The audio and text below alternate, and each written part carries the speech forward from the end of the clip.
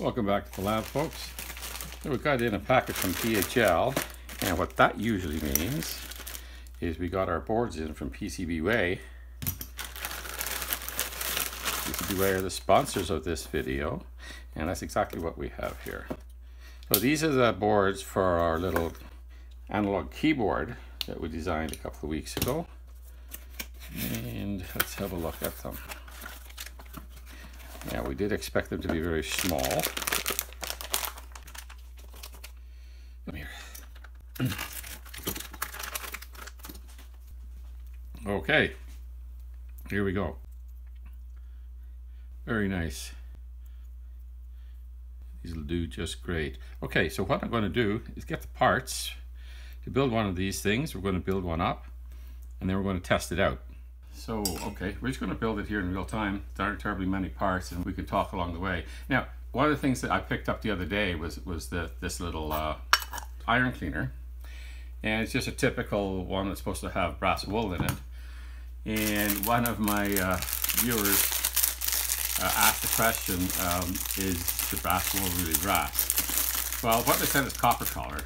But in my experience, uh, what you get with these um, little uh, cheap iron cleaners is that you know they're not real brass and you know here we go let's pick it up with a magnet. So what I normally do with these I just hand them over to, over to the kitchen and we can use them there for scrubbing pots. And they seem to do a pretty good job of that. Yeah that's showing where they go. Now what I do is I get this stuff. We got a, a handy little uh, hardware store just in town and uh, they had real brass wool. So I, I buy that off them and uh, you know it's a smaller little thing of it. It's pretty cheap. I think uh, it work. They work out to about I don't know, 75 cents or dollar each. So I'll just pop a couple of them in there. My idea for this project is to have a, a culminating project at the end of it to, to show the benefits of modular design. Um, I hope that's kind of coming across that there are benefits to modular design the idea for that project is I want to build, build a timer. So my situation here with my puppy who's over there, over that way, he's uh, lying down on his bed in the lab. Uh, my situation with him is that he, he has uh, a condition called uh, absolute dry eyes. And you hate it when you, anything that uh, sounds as bad as dry eyes is preceded by the word absolute. And what that means is that his, uh, his eyes do not produce any of the water component of tears whatsoever. He doesn't have uh, any functioning tear glands. His eyes do produce the lipid components and the mucus components. And uh, they produce a great deal of those to make up for the fact that he doesn't have any tears. Normally during the day, like when he's resting over there, I have a special drop that can go into his eyes and it, it's a good long lasting drop. So if, I put that in there and he's resting he's not too active it lasts about two hours. Uh, even a little bit longer sometimes. And then at night we have a special cream we put in. So I have to go to bed late because it, the cream only lasts about six hours. So I have to go to bed fairly late and get up fairly early to make sure his eyes are looked after. And then when we go on walks we have another one another drop that goes into his eyes that I, I, I, bring with us because it's less viscous than the, the drop that normally goes in. And uh, that's, you know, for the idea if he were out walking and he gets something in his eye, I can use that to flush his eye out, but it also provides lubrication, like a normal eye wash that humans might use uh, to clean their eyes. It doesn't have any lubricant in it, so that would not be great for him because he needs that lubricating capability too. Because if you wash all the mucus and lipids out of his eyes, which would happen with a wash. It takes quite a while for him to get them back again, and he's got no tears in, the, in, in between time. So that's what that drop is, a lubricating drop that is low enough viscosity to flush his eyes out, flush sand or whatever it is gets into his eyes because he, he can't do that himself. And also to keep his eyes moistened. But when we're on a walk, it's too easy to get distracted just by the scenery and everything else and what he, he really needs his eyes done about every 15 minutes you know so he will let me know if his eyes are under distress at all. He'll start uh, he'll come up to me and rub his eyes against my pants or something like that. But by that time there's damage happening and you want to avoid that situation.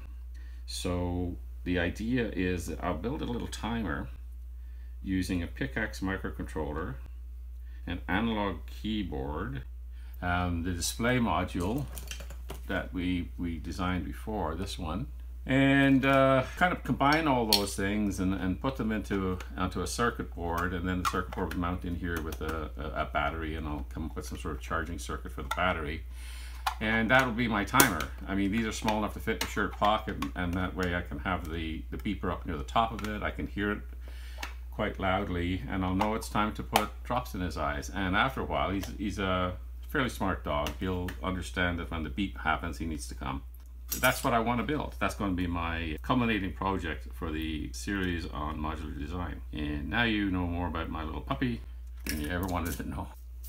All right, it's built.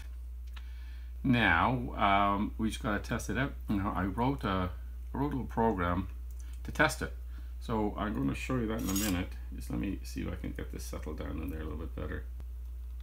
Oh, another thing I wanted to show you, like uh, a lot of people use the like the, the, ones I put in here, these little tactile switches.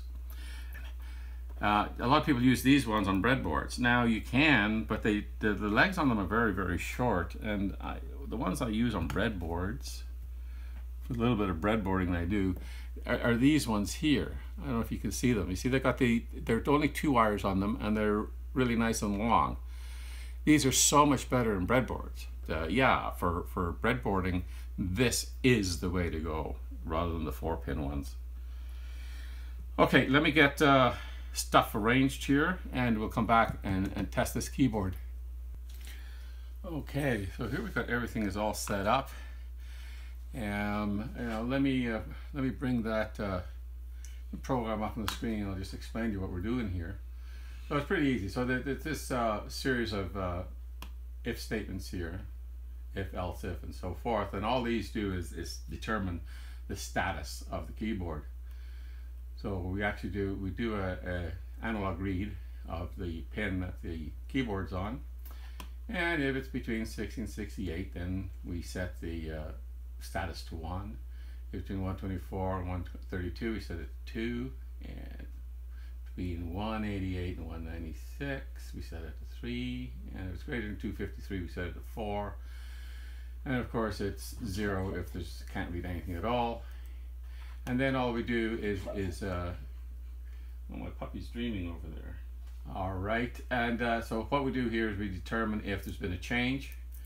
So as long as the status is not zero and there's been a change in the status, then we go sub this little no so notification subroutine here called note. And then what I'm going to do is I'm going to turn this LED on.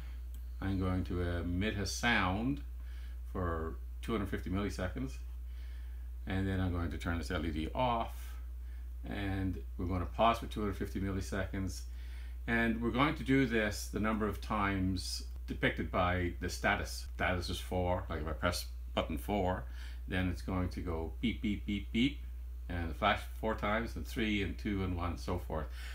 At least I hope that's what's going to happen. If not, we can we can just change these values here so that we can pick up uh, on the status of the keyboard. So let's uh, let's program.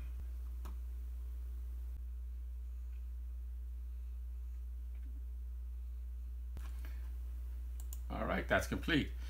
Okay, so now let's see what happens if I press a button. I guess this would be button number one here.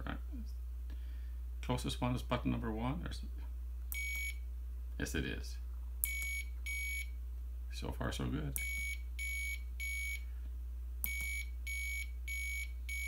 Hey, look at that.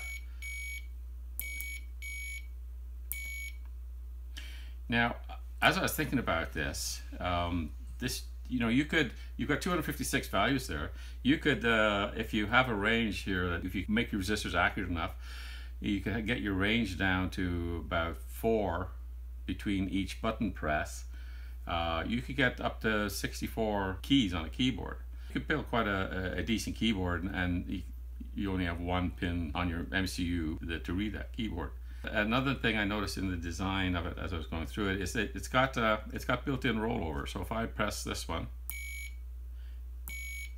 and I press that one while the other one's pressed, it'll roll over. Um, roll back doesn't work. It does roll back, but it only rolls back when you release. So if I if I have this one pressed and I press this one, as soon as that one is released, it rolls back. So you've got roll forward and roll back, and it's N key. So if you have three of them pressed, it'll it'll take the highest and rolls back as you go back. So it's it, yeah, it's it's uh it's really decent. And you could of course because it's, it's under software control, you can make it behave whatever way you want. All right, that's it. It it works. Another successful project. Um, thanks again to the guys at uh, PCBWay for helping out with this. I really appreciate it. It uh, it makes it all possible.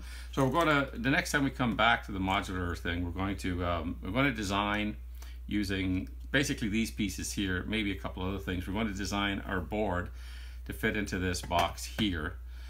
And I did want to originally use a, a 08 M2 PICAXE for the compact size, and I really only need six pins, but the unfortunate thing with the 08 M2, it only has four output pins, which I need, but one of those pins is also the analog to digital conversion pin, and the two other pins are input only. So no input here required except for the analog to digital converter. And uh, that's unfortunately on one of the output pins, so I was unable to get enough pins. So I'm going to use the, the next best one, which would be the 14M2. So that's the one I'm going to use in our design. Thanks a lot for coming out, guys. Thanks PCBWay for helping with this, and I hope to see you back for the next one I do on this, where I design the circuit for this, and we'll send that off get a PCB board and build it too.